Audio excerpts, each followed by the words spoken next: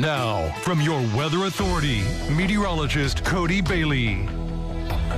Overall, the next seven days are looking fairly active as we thankfully get warmer, but we do have uh, multiple rounds of showers and storms. But thankfully, right in the middle of that, uh, we've got the sandwich of our eclipse Monday that looks to stay not only dry, but mostly cloud free. Uh, we'll have an updated look at Future Tracker to show kind of the cloud cover, what we're expecting for the eclipse on Monday afternoon. But a few showers and storms tomorrow evening, and then better chances as we go through Tuesday, Wednesday, Thursday of next week. But outside right now, not only are we uh, dry, free from any rain or precipitation, we are relatively cloud free as well. You can see some of the stars there looking out towards the west from our Austin Homes Tower camera down in Muhlenberg County, just north of Central City. And a beautiful scene there, the Blue Bridge lit up this evening as well from our Bill Morgan Roofing and Construction Tower camera. A quiet and calm Ohio River, but it is a little higher. We'll show you the river levels here in a moment as well. But outside right now, uh, 50 degrees on the dot at the Evansville Regional Airport. Many other locations now down into the mid to upper 50, or 40s rather. 46 Princeton,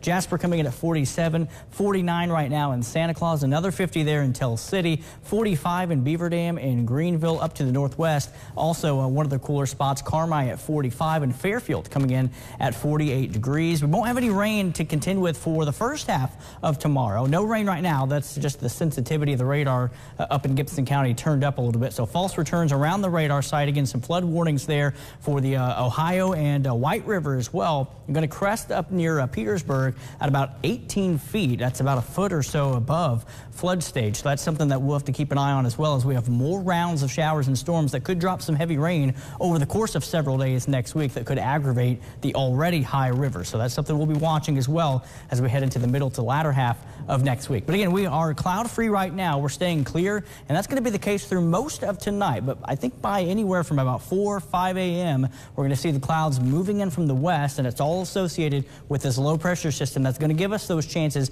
of showers and storms. Now, the showers and storms that we see right now kind of spinning like a top on the leading edge of that low pressure, that's going to fade away here as we go later on uh, during the overnight hours and then try to redevelop during tomorrow. Now, there are some ingredients for severe weather. It's a low risk but some uncertainty in terms of uh, how much moisture will be in the atmosphere to kind of fuel the storms for tomorrow. So keeping that as a marginal level one threat for most of the tri-state, with the exception of our far eastern counties. But here's an updated future tracker to time out that chance for some strong to isolated severe storms tomorrow. It's going to be in a broken fashion. Again, we'll have the clouds to contend with early. As I mentioned, a lot of people will likely be outside for tomorrow, of course, on Monday as well, but no issues there. Uh, but for tomorrow, a lot of festivities across the tri-state, so may want to have the rain gear handy as well, and also keep an eye to the sky if there's any uh, thunder or lightning, even if we're not severe. That can pose a hazard as well. Just something to keep in mind and prepare to seek shelter and let the storms pass. But here we are by 6 o'clock tomorrow evening. Bulk of that activity somewhat broken, but right on top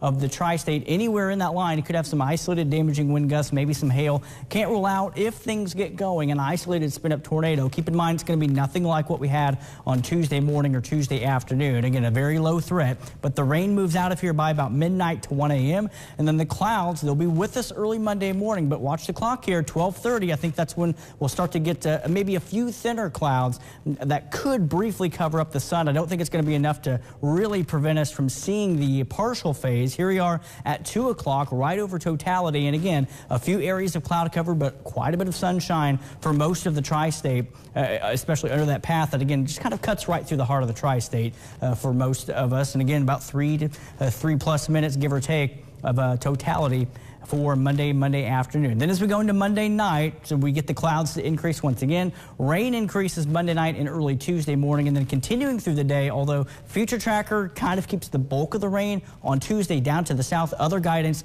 gives us basically a washout for our Tuesday and again on Wednesday as well. But there's a look at that marginal level one for uh, basically areas except our eastern counties along the US 231 corridor. The rain, again, starts to pick up, especially on Wednesday. I think that's our best chance of pretty much all day showers and storms, and at least the first half of Thursday looking like a soggy day uh, as well, and then drying out, but very pleasant for the end of the week and for the start of next weekend.